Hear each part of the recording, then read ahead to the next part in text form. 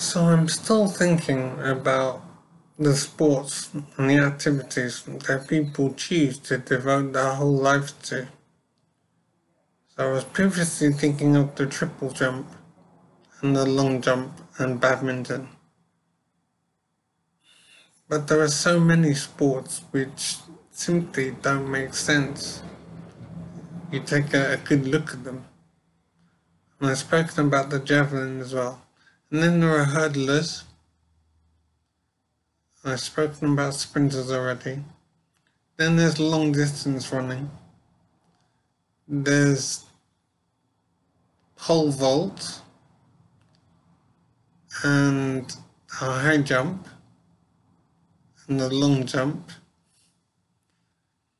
There's so many activities and sports which simply are not at all useful. There, there's nothing to these things, but people enjoy them and want to do them and devote their entire lives doing them. And people want to see them doing this. They want to see them compete. At bowling, for example, or playing cricket, or tennis, or baseball, for example. All of it is completely crazy.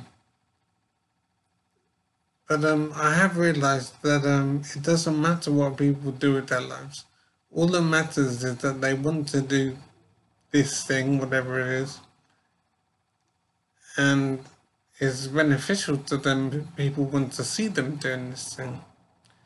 So I have been thinking about inventing a new sport of some kind. I think it's a worthwhile thing to do because I'm seeing all these crazy sports, sports which really don't make sense. So it must be possible to invent a sport, some activity,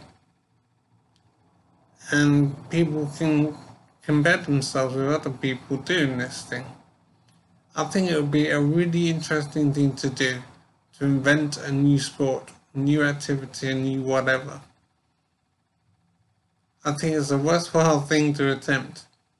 And I have no idea what I might invent. But um, it is a mission of mine now to invent a new activity and hope it takes off maybe. It is um, an interesting thing to do, I think.